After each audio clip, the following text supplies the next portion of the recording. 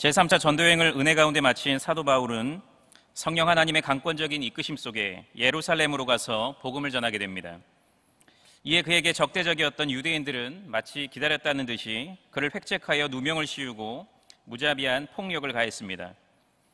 그리고 바울은 그 소동으로 인해 로마 군인들에게 붙잡혀 재판을 받게 되는데 바울은 오히려 그것으로 인해 유대 백성들과 지도자들을 넘어 당시 세계를 호령하고 있던 로마의 최고 권력자들에게까지 복음을 전할 기회를 얻게 됩니다. 그리고 바울은 그 과정 속에서 자신이 로마 시민권자임을 내세워 로마로 가서 가이사 황제로부터 재판받을 것을 요청했고 그것이 받아들여지게 됨으로써 결국 로마로 호송되게 됩니다. 한편 바울을 태운 배는 항해 도중 유라굴로 광풍을 만나게 되면서 파선의 위기를 맞게 되지만 하나님의 강권적인 도우심으로 인해 승선자 전원이 무사히 멜, 멜, 멜리데 섬에 이르게 되고 바울은 그곳에서 뜻밖의 환대를 받게 됨으로써 영육 간의 재충전의 시간을 갖게 됩니다. 그리고 이어지는 내용이 바로 오늘 본문인데 멜리데 섬에 머문 지 석 달 뒤 바울은 이제 다시 최종 목적지인 로마를 향한 여정을 시작하게 됩니다. 그리고 마침내 로마에 도착해 재판을 기다리는 미결수로서의 삶을 살아가게 됩니다. 그런데 바울은 하나님의 주권적인 섭리 가운데 이 모든 과정 속에서 여러 뜻밖의 만남들을 갖게 되는데 그는 그것에 힘입어 큰 위로와 용기를 얻게 되고 로마에서의 복음 전파의 사역을 힘차게 감당하게 됩니다. 그리고 그 결과 그곳에는 놀라운 구원의 역사가 나타나게 됩니다. 그런데 이 내용을 자세히 서술하고 있는 오늘 본문은 하나님의 위대한 구속 운동을 위해 성도가 과연 어떤 자세를 가져야 하고 또한 그 일에 어떻게 동참해야 하는지를 가르쳐 주고 있습니다. 그리고 그것이 복음 전도자에게 어떤 큰 유익을 끼치게 되는지까지도 가르쳐 주고 있습니다. 우리 경양교회는 세계를 받은 교회로서 지난 47년 동안 예수 세계화 운동에 전력했습니다. 그리고 그것을 통해 하나님 나라 확장하는 일에 귀하게 쓰임 받았습니다. 그런데 하나님께서는 우리로 하여금 그 일을 더 잘 감당하도록 하시기 위해 약 20년 전 한 가지 축복을 허락해 주셨는데 그것이 바로 별들의 운동입니다. 제 경향교회는 이 별들의 운동을 통해 바른 개혁주의 신앙인, 특별히 바른 개혁주의 복음 전도자를 양육하고 배출함으로써 그 영광스러운 구속 운동에 크게 쓰임 받을 수 있었고 지금도 여전히 쓰임 받고 있습니다.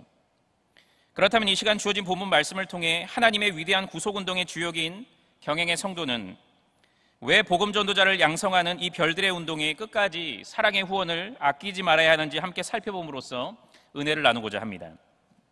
첫째로 성도는 경행의 별님들이 우리의 지속적인 관심과 사랑을 통해 용기 백배하게 된다는 사실을 꼭 기억함으로써 별들의 운동에 사랑의 후원을 아끼지 말아야 합니다.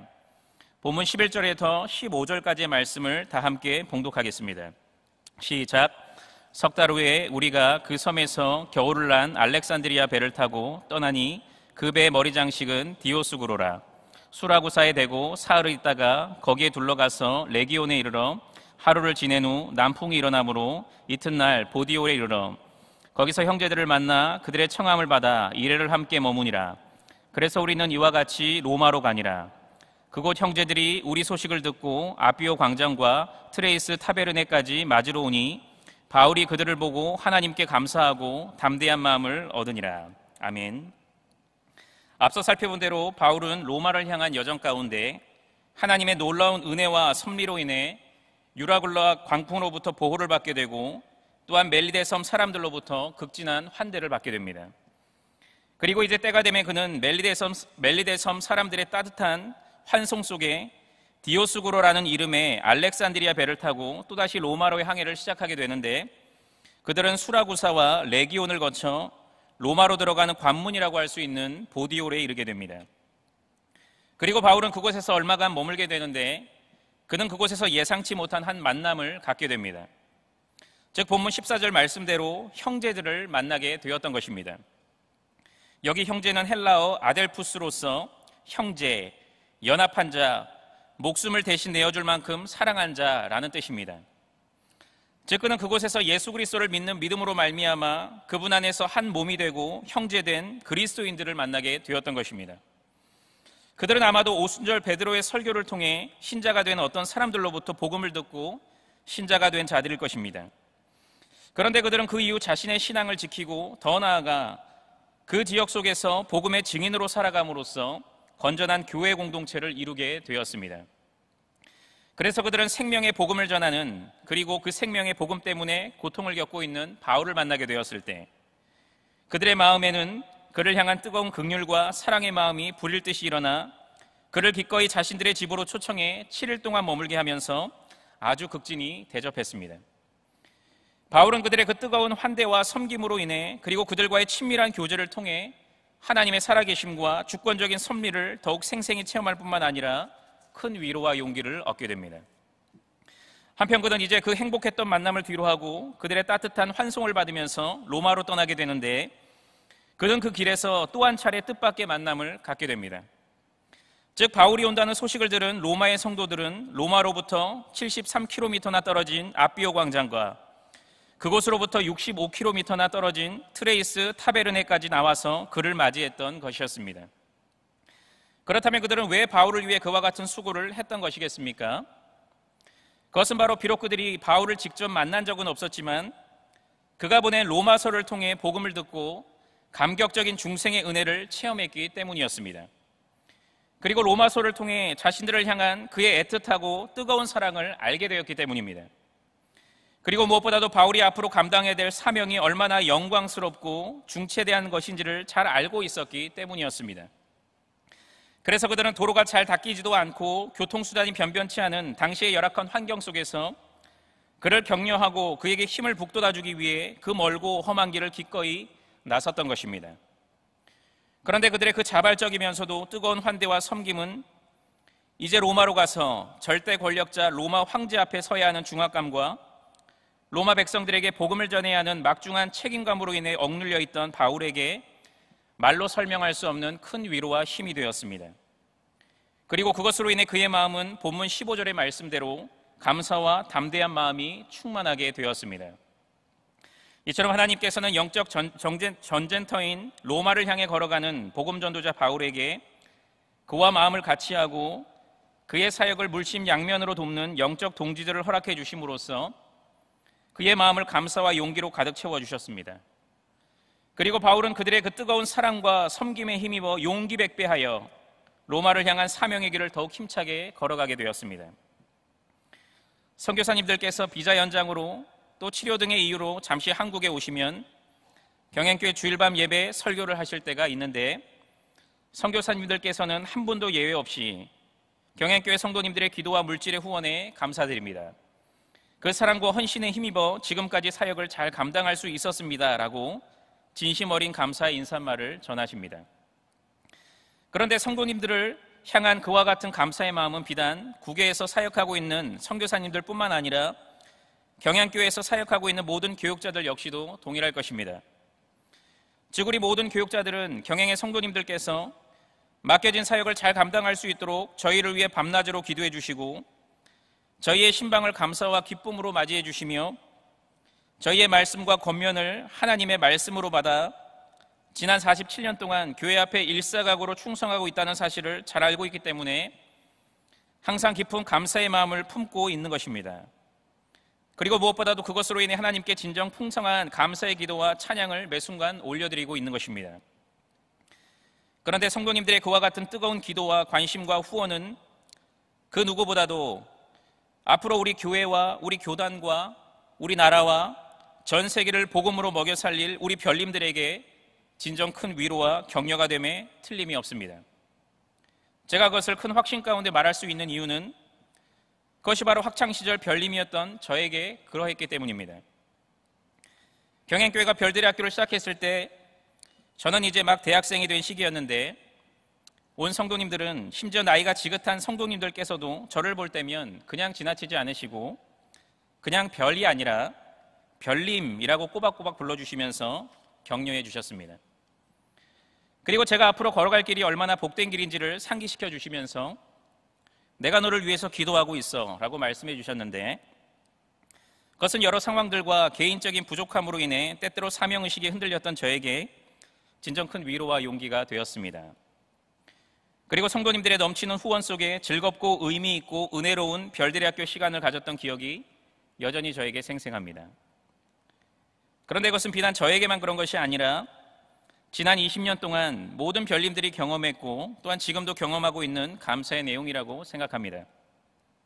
최근 드려졌던 별들의 학교 후원의 헌신 예배 때는 대학부 SFC 별님들이 간증을 했었는데 그들은 하나같이 자신들을 위해 언제나 뜨거운 기도와 관심과 사랑의 손길로 후원해 주시는 성도님들께 모든 별님들을 대표해서 진심 어린 감사의 말을 전했습니다.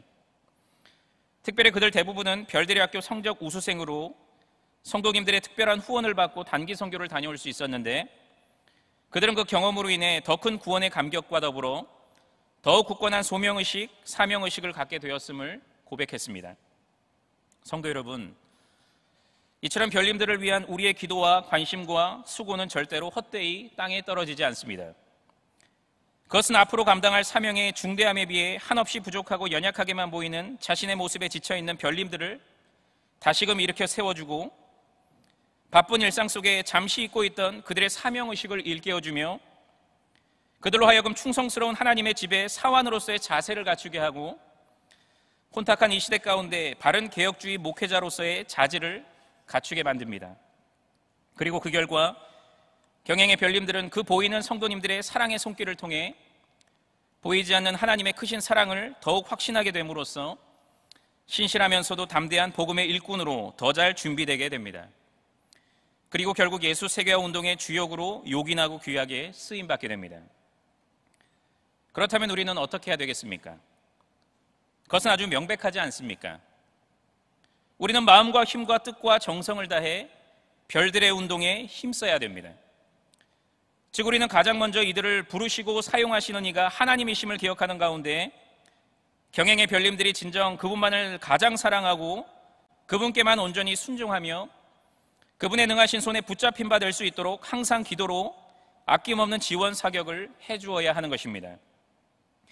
또한 우리는 경행의 별님들 하나하나에게 각별한 애정을 갖는 가운데 그들을 만날 때마다 별건 아니지만 별님이라고 불러줌으로써 그들이 많은 사람을 옳은 대로 돌아오게 하는 하나님 나라의 귀한 별임을 상기시켜 줄 뿐만 아니라 그들에게 격려의 말을 아낌없이 건네므로써 당당히 그 길을 걸어갈 수 있도록 해야 하는 것입니다.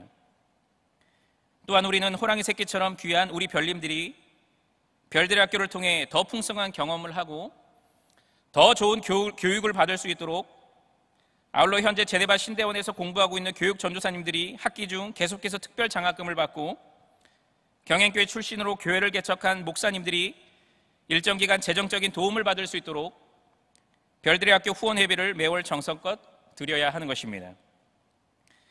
만약 우리가 하나님을 뜨겁게 사랑하는 마음과 하나님 나라 확장을 열렬히 소망하는 마음 가운데 그와 같이 기도와 관심과 사랑을 우리 별님들에게 아낌없이 쏟아부어 준다면 저에게 그랬듯 그것은 그들에게 말로 할 수 없는 큰 위로와 힘이 될 것입니다.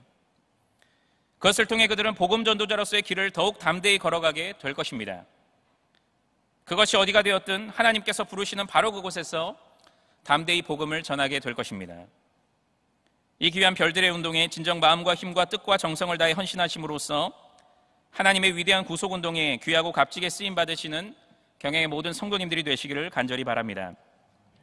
둘째로 성도는 하나님의 구속 운동이 참된 말씀 선포를 통해 전개된다는 사실을 꼭 기억함으로써 별들의 운동에 사랑의 후원을 아끼지 말아야 합니다. 이 시간에 본문 16절부터 31절까지의 말씀을 다 함께 봉독하겠습니다. 시작. 우리가 로마에 들어가니 바울에게는 자기를 지키는 한 군인과 함께 따로 있게 허락하더라.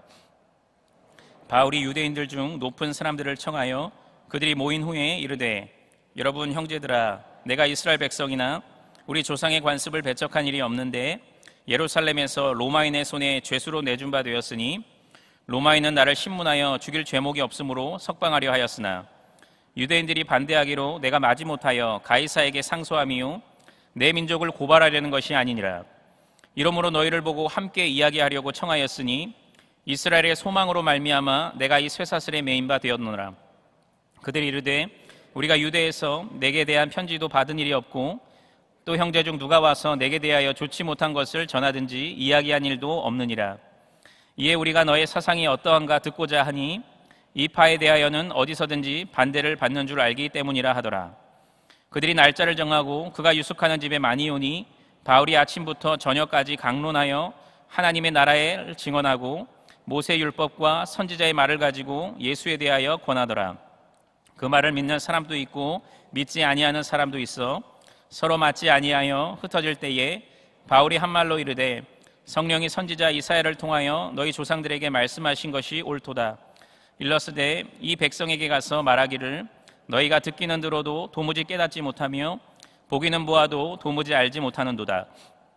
이 백성들의 마음이 우둔하여져서 그 귀로는 둔하게 듣고 그 눈은 감았으니 이는 눈으로 보고 귀로 듣고 마음으로 깨달아 돌아오면 내가 고쳐줄까 함이라 하였으니 그런즉 하나님의 이 구원이 이방인에게로 보내어진 줄로 알라. 그들은 그것을 들으리라 하더라. 바울이 온 이태를 자기 셋집에 머물면서 자기에게 오는 사람을 다 영접하고 하나님의 나라를 전파하며 주 예수 그리스도에 관한 모든 것을 담대하게 거침없이 가르치더라. 아멘. 앞서 우리는 하나님께서 두렵고 떨리는 마음으로 로마를 향해 사명의 걸음을 가고, 가고 있던 바울에게 물심양면으로 후원을 아끼지 않는 영적 동지들을 허락해 주심으로써 그의 마음의 감사와 용기가 충만히 넘치게 해 주셨음을 살펴보았습니다. 그리고 그는 그처럼 사기 충천한 가운데 로마로 입성하게 되는데 하나님께서는 그런 그에게 또다시 은혜를 베풀어 주셔서 그로 하여금 가택 연금 상태로 머물 수 있도록 해 주셨습니다. 즉 외딴 감옥에 갇혀 세상과 완전히 단절된 것이 아니라 감시병 한 명만 붙여진 채 한 집에 머물면서 비교적 자유로운 생활을 할 수 있도록 해 주신 것이었습니다. 그리고 더 나아가 방문객들까지도 집안에서 집안으로 들여 마음껏 복음을 전하고 가르치며 교제할 수 있도록 해 주신 것이었습니다. 이에 바울은 그 자유와 특권을 즉시 선용해 3일 뒤 가장 먼저 자신의 동족 유대인 공동체 지도자들을 그곳으로 불러들였습니다. 그리고 그들에게 로마 압송의 과정을 상세히 설명하면서 앞선 로마 법정에서의 신문 중 자신의 무지함이 드러남으로써 석방될 수 있었지만 유대인들의 반대로 인해 그것이 무단, 무산되었음을 밝혔습니다. 하지만 그는 이후 자신이 로마 황제에게 항소했던 것은 유다 민족을 벌받게 하기 위함이 결코 아니라 단지 자신이 공정한 재판을 받기 위한 어쩔 수 없는 선택이었음을 밝힘으로써 그들이 혹여나 자신을 향해 적대적인 감정을 갖지 않도록 심혈을 기울였습니다.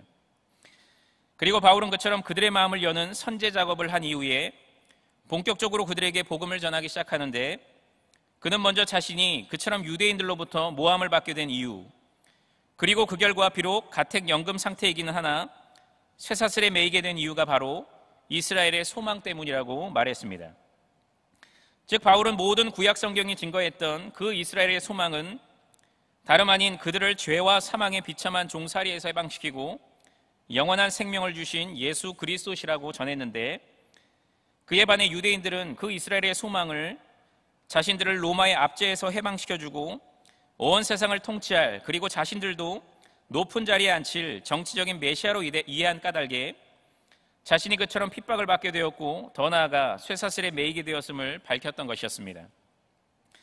그런데 그 말이 끝나자 참으로 놀랍게도 그들은 비록 바울이 전하는 사상, 곧 예수님이 바로 구약에 예언된 바로 그 메시아라는 사상이 많은 사람들로부터 배척을 받고 있다는 사실을 잘 알고 있었지만 그로부터 그것을 직접 듣고 자신들이 그것의 옳고 그름을 스스로 판단하기를 원한다고 말했습니다. 이에 바울은 조금도 지체하지 않고 그들과 만날 날짜를 바로 정하여 그들을 자신의 숙소로 초청했습니다. 그리고 그들에게 아침부터 저녁까지 하루 종일 강론했습니다. 즉, 알기 쉽게 해설하고 설명해 주었습니다. 그런데 그가 그들에게 집중적으로 강론한 내용은 바로 하나님 나라와 예수 그리스도였습니다.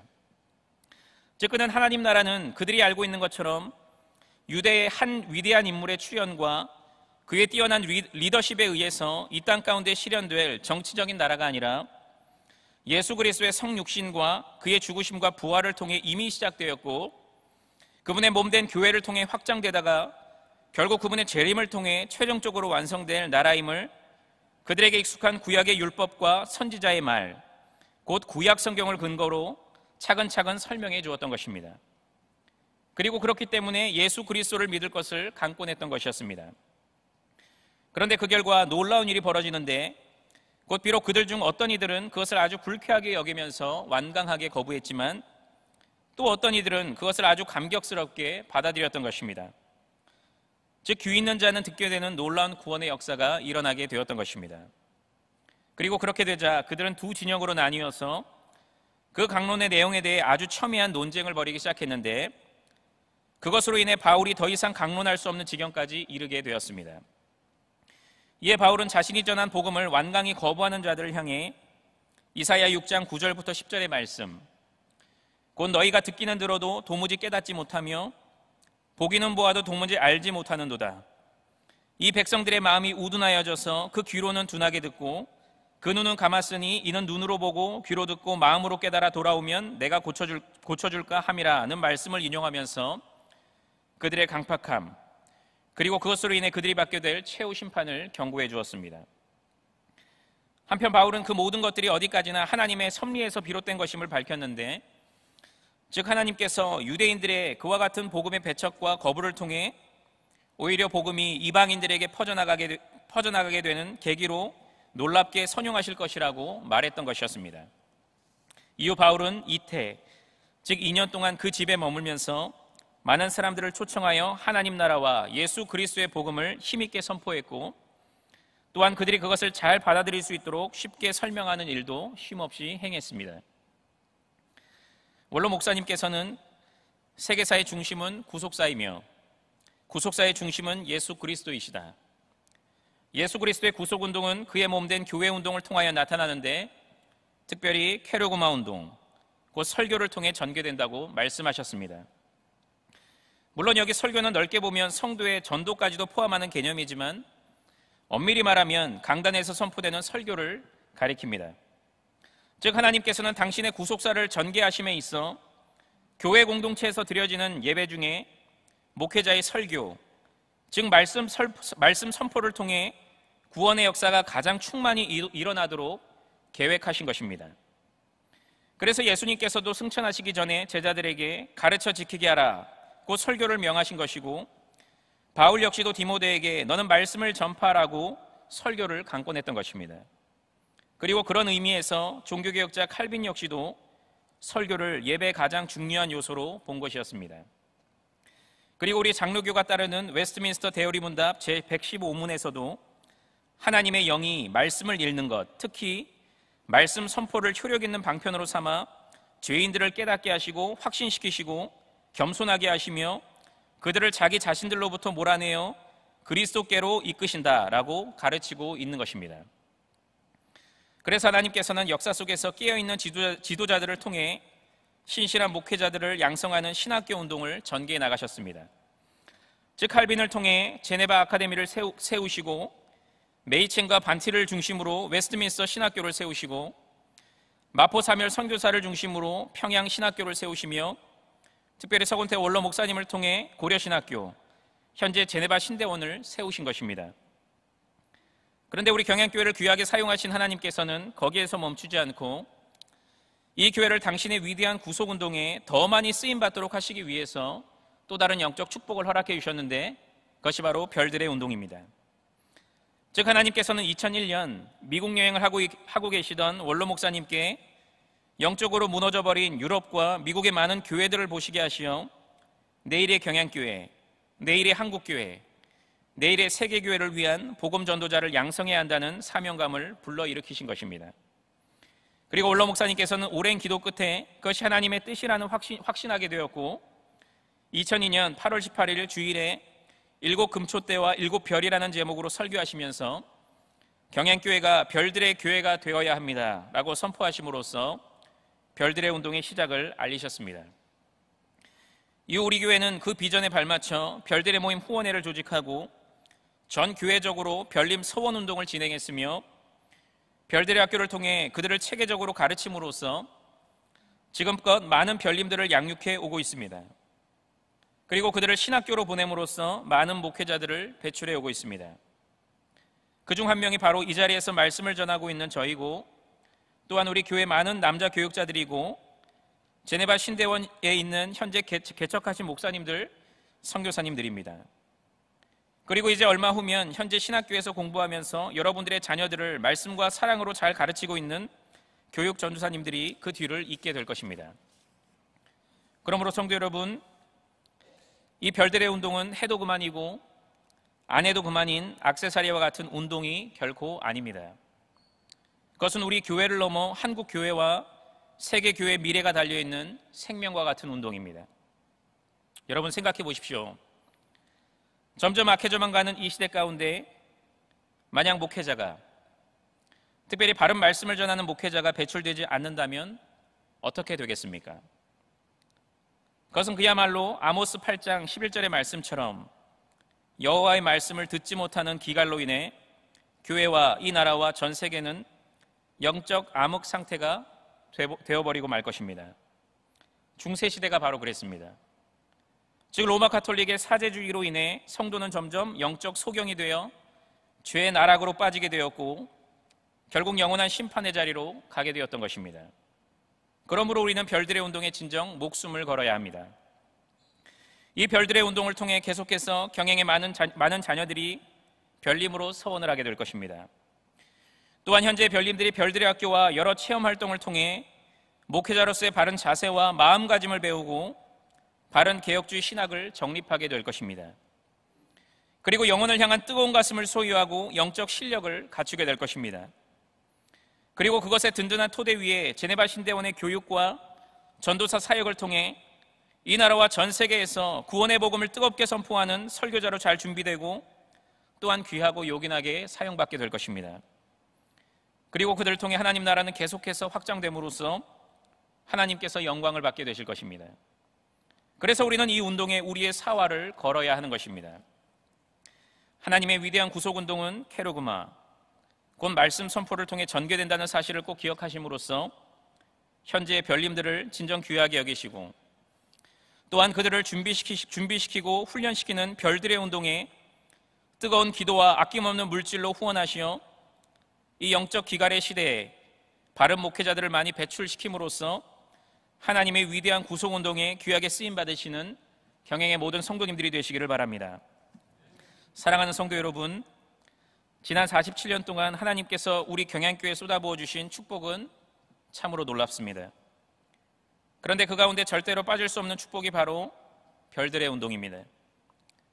왜냐하면 여러분이 잘 아시는 대로 이 세상에 존재하는 이유는 하나님의 위대한 구속사 때문인데 교회가 바로 그 일의 핵심 기관이며 또한 설교라는 수단이 그 일에 귀하고 요긴하게 쓰이기 때문입니다. 그러므로 우리 경양교회가 그 귀하고 중대한 임무를 감당할 목회자를 길러내는 일에 전력하는 것은 하나님 보시기에 참으로 아름다운 것이며 그리고 그런 까닭에 그것은 하나님께서 우리에게 허락하신 복 중의 복입니다. 더욱이 지금 우리가 살고 있는 이 시대는 사탄의 최후 발악으로 인해 점점 악해져만 가고 있고 무엇보다도 참된 교회를 향한 사탄의 공격은 공격은 점점 거세져 진리가 심각한 위협을 받고 있기 때문에 우리가 진행하고 있는 이 별들의 운동은 더욱 값집니다.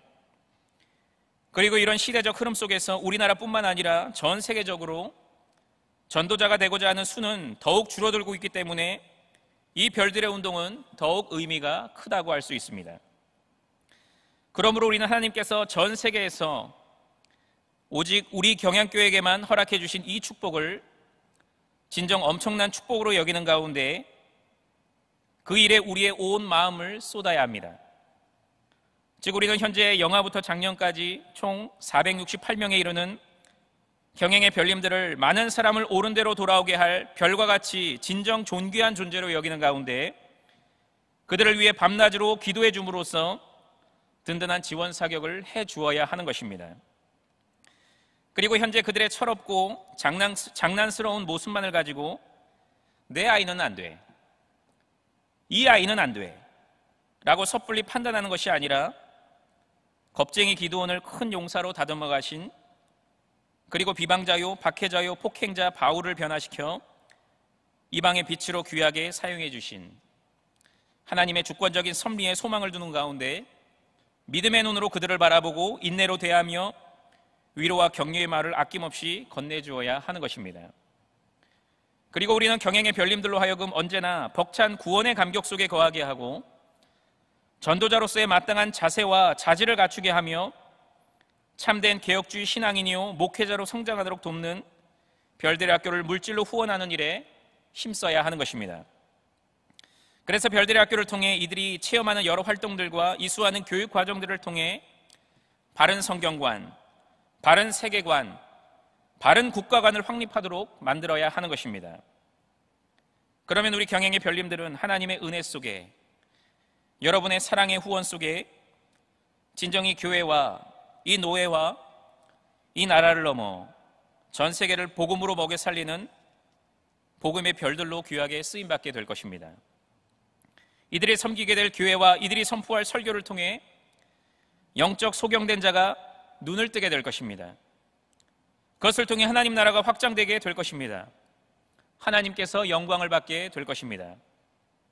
우리가 받은 최고의 복, 우리의 자랑, 별들의 운동에 생애 최고와 전부를 아낌없이 내어드림으로써 하나님의 위대한 구속 운동에 귀하게 쓰임 받으시는 경영의 모든 성도님들이 되시기를 주님의 이름으로 간절히 축원합니다.